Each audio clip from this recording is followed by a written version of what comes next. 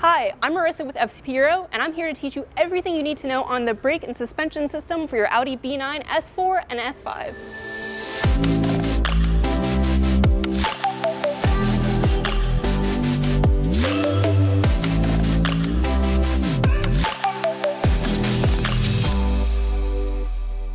The B9 and B9.5 Audi A4, A5, A4 All-Road, S4, S5, and RS5s are the continuation of Audi's most popular midsize sedan. They are all built on the MLB Evo B engineering platform, which is very similar to the previous B8 generation that utilized the MLB B platform.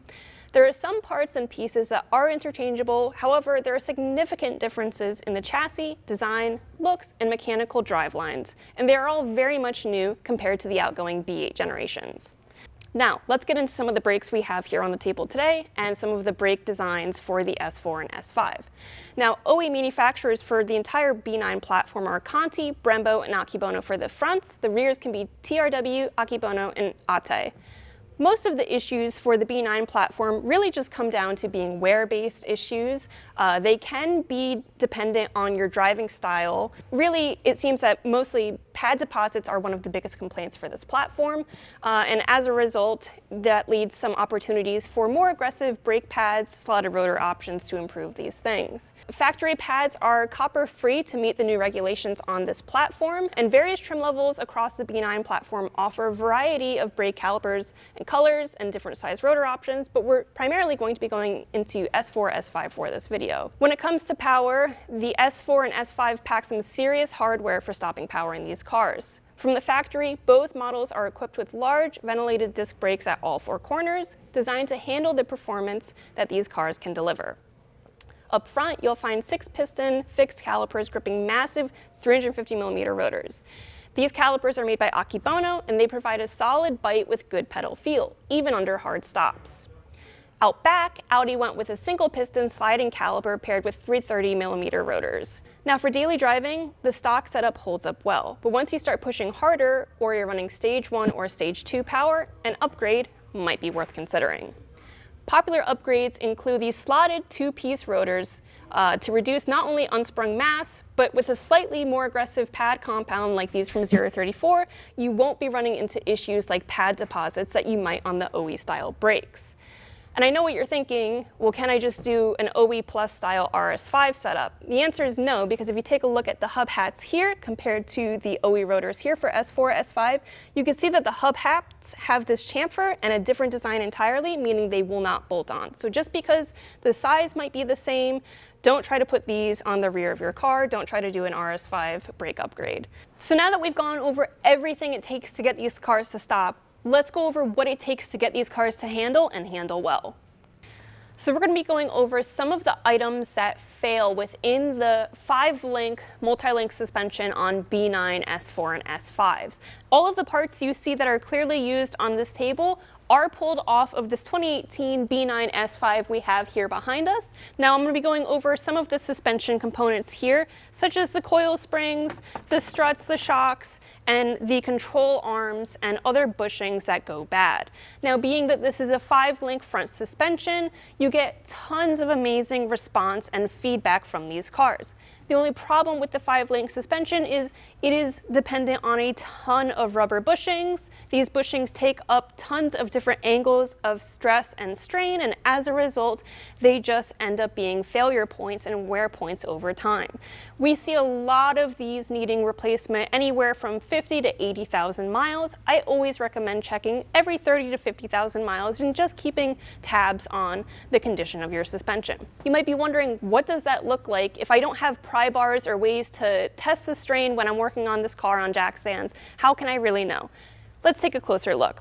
So Coils are fairly straightforward on these cars. There are some B9 cars that had springs that can shear or snap under certain loads. Thankfully, the B9 S4 and S5 doesn't have these issues. Other examples like Q5s may have had TSBs on this, so it would be best to take a closer look at those. But for now, we're not going to be going really into these. These don't necessarily have that many issues. However, if your car is equipped with DCC, such as our example here, you might see that these tend to fail. If you take a closer look at this strut right here, you can see that there is some sludge slime buildup on this. This is because the DCC strut has been leaking. This is all residual. Uh, you might not feel this right away, but you'll start to slowly feel this over time. And a good indicator of a failing strut is that it's not returning back to height. When comparing this with the rear shock, you can see I can't even compress this example down. This has no residual buildup over here, showing that it is not leaking and it is still technically good. You might be wondering what DCC is. DCC stands for Dynamic Chassis Control. This allows you to go through Audi's Drive Select system and specifically hone in on the type of feedback you want from your suspension. You can change the firmness or softness to it depending on the settings of your choice. Um, this is all electronically actuated and it's a relatively smart system. There's a lot of benefit to this system if you like driving your car in various different driving styles. If you're someone who drives your car like fairly consistently, fairly, you know, just daily driving it, you're not doing anything fancy, this might be an overkill system for you. And if you just so happen to buy a car that has DCC, we do offer DCC delete kits if you want to have a more simplistic suspension system. That is exactly what we did when we had the H&Rs put into this example here. We converted to a coilover setup with a DCC defeat kit. Now let's talk about the bushings in the suspension themselves, how these go bad, where to look for where they might shear, crack, or do other things. This is the rearward lower control arm on these cars, and while it looks dirty and it looks like it has been on the car, you might be wondering to yourself, well, how do I know that this is actually bad?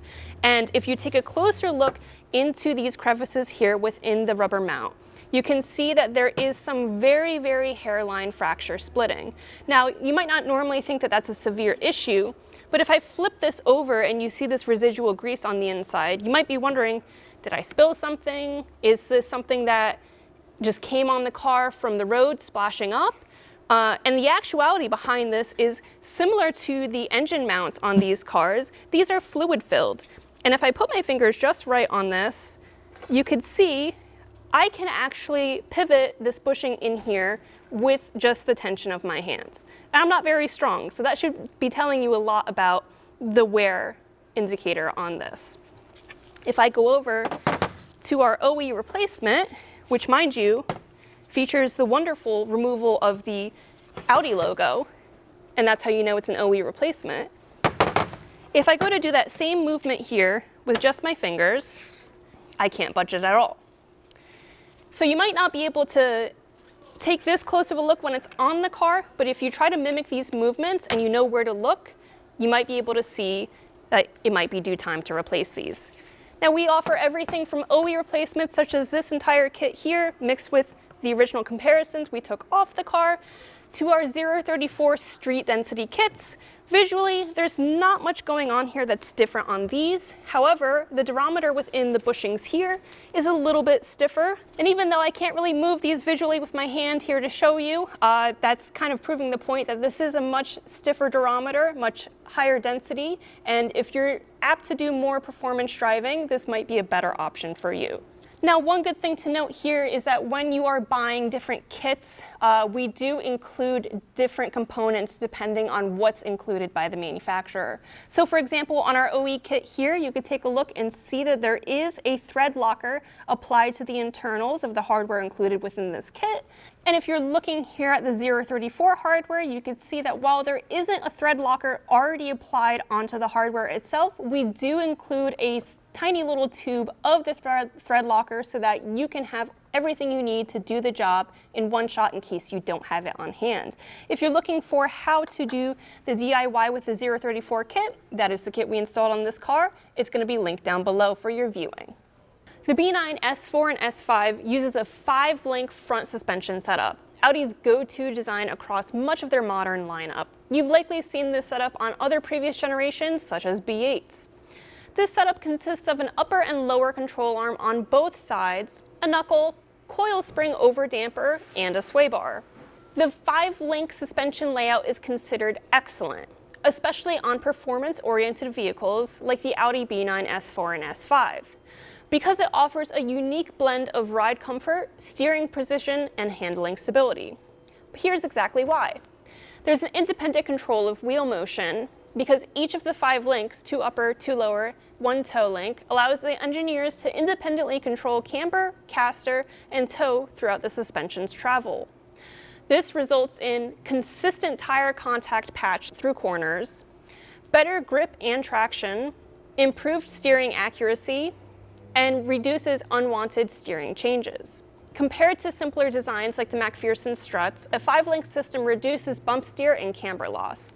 This means that there's less change in wheel alignment under compression or rebound, more predictable handling during spirited driving or rough roads, better isolation of road noise and vibration. The multiple arms allow Audi engineers to tune each bushing for specific forces, some for vertical compliance, which is comfort, others for lateral stiffness, which leads to handling. This helps absorb road imperfections, keep the cabin quieter and smoother. This system uses aluminum arms wherever possible to reduce unsprung mass. You might be wondering, what is unsprung mass? Unsprung mass refers to all of the components not supported by the suspension. This includes control arms, wheels and tires, brake assemblies, knuckles and hubs. Essentially, it is the weight that moves directly with the road, instead of being cushioned by springs and dampers. Reducing unsprung mass matters because lower unsprung mass in turn reveals better handling, ride quality, and suspension performance. As a result, there's also improved ride comfort. With less weight bouncing up and down, the car feels less harsh and more composed, especially over uneven surfaces. And moving further, there's more precise handling. Lower unsprung mass reduces the momentum of suspension components. This leads to sharper steering response and more predictable cornering behavior. You might be asking yourself, why aluminum versus steel? Audi uses aluminum for arms and knuckles because it's much lighter than steel, up to 40-50% weight savings, and the way that it's cast and designed is still strong and rigid enough for structural use. And it's corrosion resistant, which helps over long-term ownership, especially for our New England focused friends.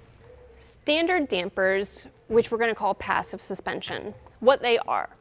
They're traditional fixed rate dampers with no electronic control. Unlike the DCC, they are factory tuned to balance comfort and performance at a fixed rate, and they are paired with a conventional steel coil spring.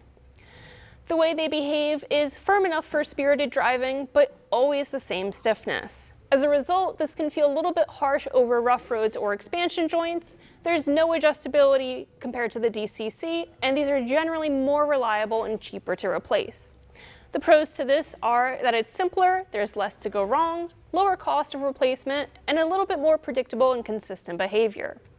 The cons to these are there's no ability to soften or stiffen the ride on the fly, and they may not strike the ideal balance for all conditions, especially dependent on how you drive. Now, adaptive dampers, Audi's DCC system, what they are is they are an electronically controlled damper system with variable internal valving. As a result, they adjust in real time based on inputs like speed, steering angle, brake force, and road conditions. These are controlled via drive select modes, which include comfort, auto, dynamic, and individual. The way they behave is dependent on the comfort on the mode that they are in. In comfort, they're noticeably softer. This is maybe better for daily driving. In dynamic, they firm up. Better body control, reduced roll and dive. An individual mode is a mode that you can fine tune to your exact preferences and settings. The pros to these is that they're a little bit more versatile. They transform the car's personality with a push of a button. They're more compliant for daily driving more responsive in hard driving, and ideal for people who have mixed use driving. The cons as a result to this is that they're more complex, there's more sensors, wiring, electronic control units. They're more expensive to replace as a result, sometimes even two, three times the cost of standard dampers. These can fail internally and cause ride quality or fault code issues. As a result, which one's better? If you want the best balance of comfort and performance, your S4 or S5 is your only car, the adaptive suspension might be worth it. If you're planning to upgrade to coilovers or want fewer electronic systems to maintain, standard dampers are completely fine and quite frankly, easier to modify. Now regardless, we put coilovers, H&R coilovers with a DCC defeat kit onto our car that came with DCC suspension. So it's not to say if you just so happen to buy a car with DCC that you cannot convert it. It's just a little bit more involved than if you were to modify a car with standard suspension. Overall, Audi's modern front suspension design is more complex than a typical MacPherson strut system. But the payoff is sharper turn in and better grip under load. This makes the car feel more like a performance car, and even though parts might be more expensive to maintain and they might wear out sooner, overall it's the feedback that makes these enjoyable. Let's talk about the rear suspension now. The rear multi-link suspension geometry on the Audi B9, S4, and S5 is a key part of why these cars feel both composed and agile, especially under acceleration, cornering, and uneven surfaces. Here's a detailed breakdown of how the system works and why it matters. The B9 S4 and S5 rear suspension is a five-link independent rear setup mounted to a subframe. This includes two upper control arms per side, a lower control arm, trailing arm slash longitudinal link, toe control arm, and these arms work together independently to manage camber, the tilt of wheel inward or outward, toe, the angle of the wheel inward or outward when viewed from above, and longitudinal movement under braking and acceleration. Now let's talk about what can go wrong. While Audi's engineering is solid, no suspension lasts forever, and the B9s are now old enough to see real wear. Some of the common issues as a result are upper control arm bushings and ball joints. These normally wear every 60 to 80,000 miles. Shock mounts can develop a noise. The adaptive dampers are prone to internal failure or leakage, something we've seen on our car specifically. Rear toe link bushings or eccentric bolts can seize. Sway bar end links can rattle or knock. The subframe can shift. This can be an alignment issue, especially if the bolts stretch on your B9. And if you're hearing clunks over bumps or seeing odd tire wear, start inspecting those points.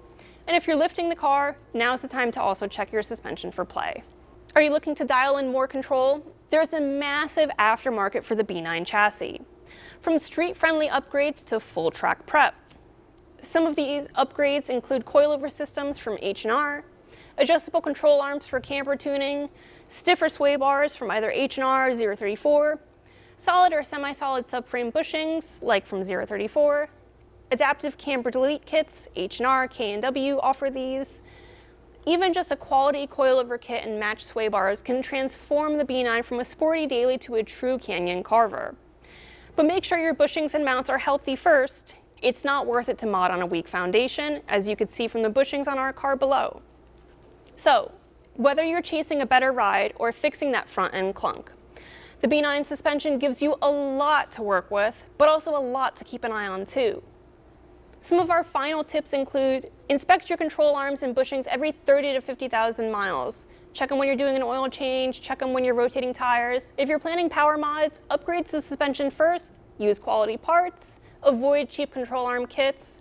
We offer a wide selection of control arm kits, whether you're looking for OE or OEM plus performance. If you found this breakdown helpful, let us know in the comments below what suspension upgrades you've done or issues you've dealt with on your B9. And if you want to go deeper on diag guides or DIY install guides, hit that subscribe button below, ring the bell, we've got more B9 content on the way. Thanks for watching, guys.